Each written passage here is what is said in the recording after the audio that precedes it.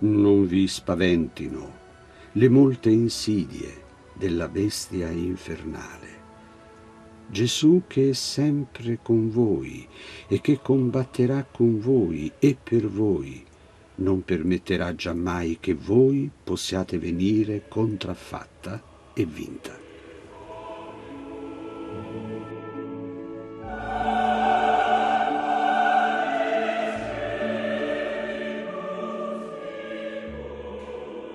Ben ritrovati cari fratelli e care sorelle, cari amici, anche cari confratelli qui dagli studi di Teleradio Padre Pio per un pensiero e il buongiorno di Padre Pio con una lettera famosissima, eh, famosissima peraltro rarissima, che Padre Pio indirizzò e scrisse ad Annita Rodote, quando appunto gli era stato ingiunto il silenzio e grazie al quale riusciva a rimanere in contatto via epistolare con le sue figlie spirituali. Questa è Annita Rodote, una delle figlie spirituali di Padre Pio delle prime figlie spirituali di Padre Pio. Che cosa contiene il pensiero di questa lettera, come abbiamo sentito? Si parla del maligno, del maligno che porta ad essere tentati, che porta ad essere provati, che ci incute, dice Padre Pio, lo avete sentito, paura e tremore. Ora, qui mi sia concesso aprire uno squarcio molto interessante riguardante una sezione della spiritualità di Padre Pio che è stata eh, non del tutto studiata. Eh, l'anno scorso, nel 2019, mi sia concessa la citazione, ho pubblicato un volume piuttosto consistente dal titolo Angeli e demoni in Padre Pio, il mondo interiore del santo stigmatizzato, dove ho fatto vedere, prima di arrivare subito ad Annita Rodote, come anche Padre Pio, soprattutto di notte, fosse, uso il termine dichiaratamente, vessato da barba blu, cioè dal diavolo, dal Satana, dal maligno, che continua anche adesso a insinuarsi tra quelle fessure più inimmaginabili della nostra esistenza, anche se è vero, come ho dimostrato nel libro, che era continuamente consolato da tanti angeli che gli facevano compagnia soprattutto durante le ore notturne.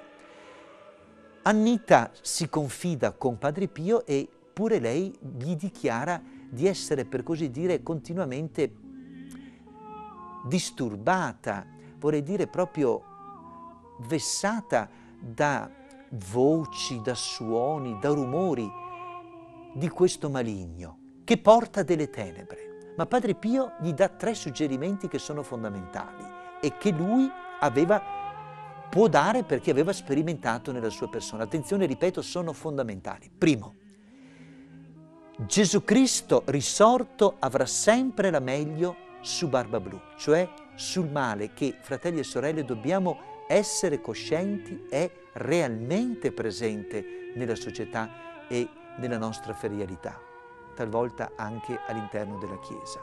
Gesù sarà sempre il vincitore. Secondo, nella sua divina provvidenza Dio Padre permette che noi siamo tentati dal demonio, dal maligno, dalle tenebre, proprio per, per essere veramente cristiani, cristiformi, si dice esattamente in linguaggio teologico, come infatti fu tentato Gesù per 40 giorni e 40 notti quando fu sospinto nel deserto. Quindi uno che non fosse, o una che non fosse tentato dal maligno, di per sé, a rigore di termini, non sarebbe un autentico cristiano. Ma è la terza intuizione o il terzo suggerimento che Padre Pio dà per consolazione ad Annita Rodote ed è questo. Quando gli dice tu entri nelle tenebre che ti procura il maligno, stagli lontano, fuggi via. Peraltro lo dice anche Papa Francesco eh, in vari suoi interventi. Quando noi sentiamo vicino a noi la presenza del male, non bisogna trattare con il male, bisogna semplicemente rifugirlo, scappargli, stargli lontano. Ma vorrei concludere con un messaggio di speranza. È vero, il male può essere presente nella nostra vita, lo è.